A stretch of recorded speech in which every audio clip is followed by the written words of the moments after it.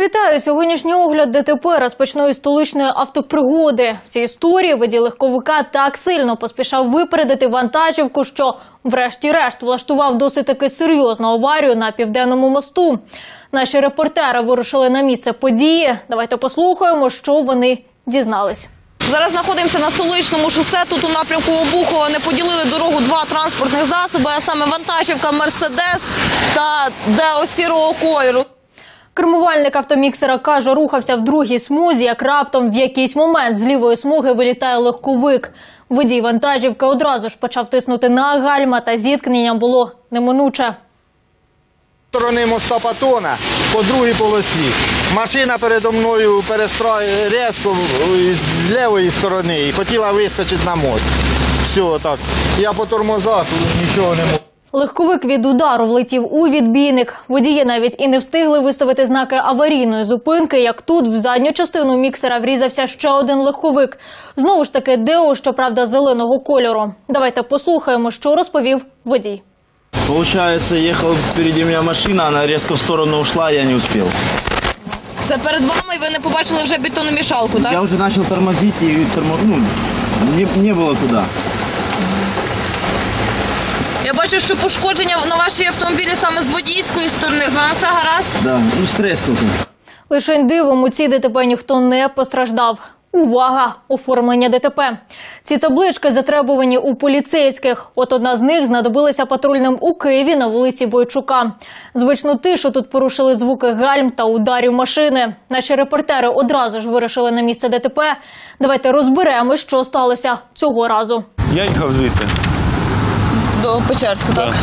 І що, на своє їхали? Чи Так, я на зелений їхав. А тут стрілка, он. у чоловіка е, перестала горіти стрілка, але він все одно поїхав. Репортер Магнолії ТВ Анастасія Березі з'ясувала, автівки рухались по зустрічних смугах. Кермувальник Мазда їхав на своє зелене світло, а от інша автівка Мерседес виїхав вниз на вимкнену зелену стрічку. Тим самим і спричинив зіткнення. Вот пример.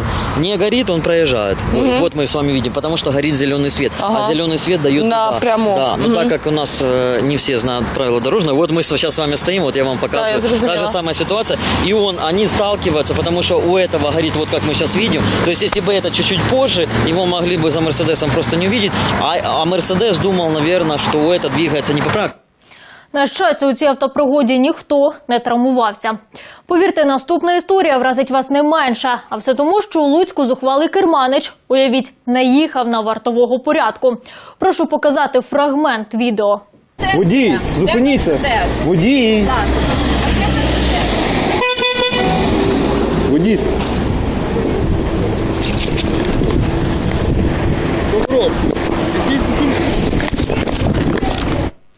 Як з'ясувалося згодом, кермувальник Хундай порушив правила дорожнього руху, зупинився в забороненому місці.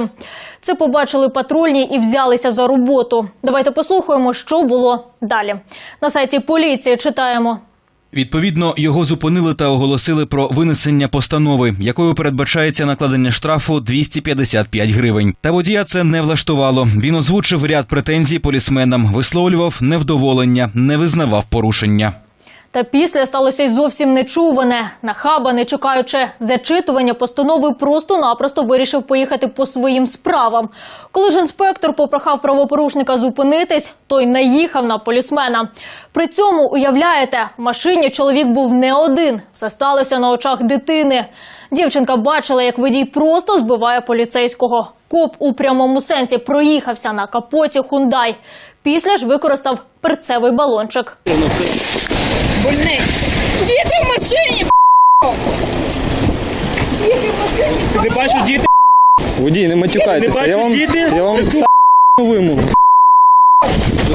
Все закінчилось тим, що врешті-решт 35-річного водія затримали та доставили у відділ поліції. Там, окрім згаданої постанови за порушення правил, на нього оформили ще два протоколи: злісна непокора та дрібне хуліганство. Керманич з усім погодився. А тепер перейдемо до історії, від якої особисто я дармови втратила. Трапилося все у столиці в районі станції метро Житомирська. Автівка збила насмерть 21-річного військового. Парубок перебігав дорогу в недозволеному місці. Що шокує, зовсім поруч від місця трагедії був підземний перехід. Водій шкоди е, литовської реєстрації КСС 075 рухався у крайній лівій смузі, після чого пішохід е, зненацька вискочив на проїжджу частину. Водій не встиг зреагувати на дорожню обстановку, яка склалася. Ось так декілька хвилин розпорядилися долею що зовсім молодого парубка. Військовий загинув у кареті швидкої допомоги. Знаєте, дуже не хочеться моралізувати, але просто задумайтесь, чому подібні історії трапляються щодня.